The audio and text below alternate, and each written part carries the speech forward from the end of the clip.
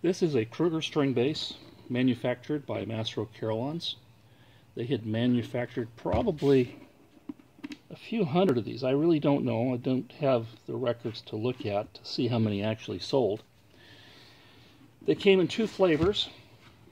13 note,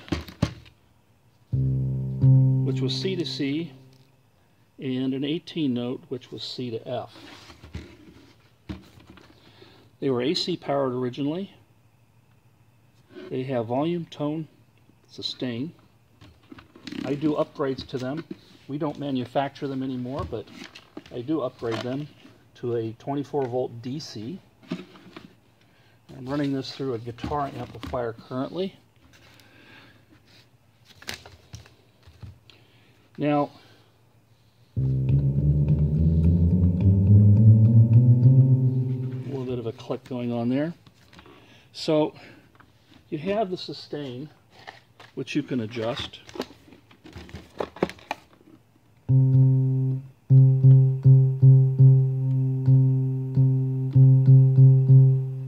And you have the tonality.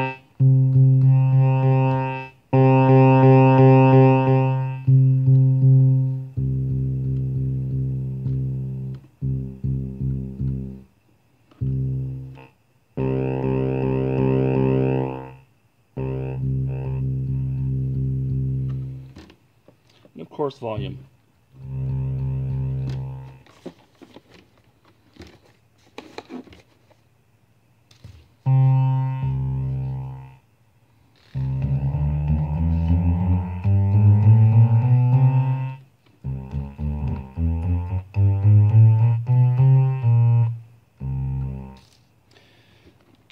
This little guy is probably 40 years old.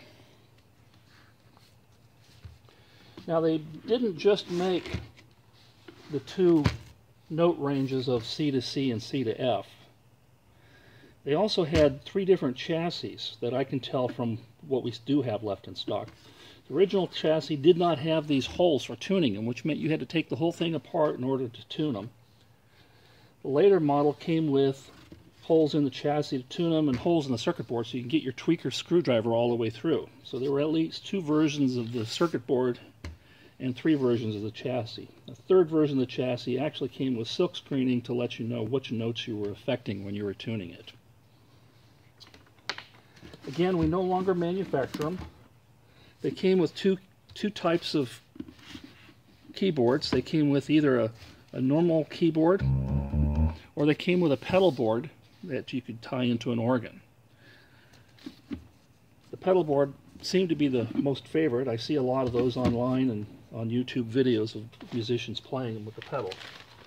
Uh, a lot of times, in fact, uh, two musicians who've sent theirs in uh, for me to do repairs and upgrade them to a DC version were guitar players who used it as a accompaniment instrument so they could play the bass with their feet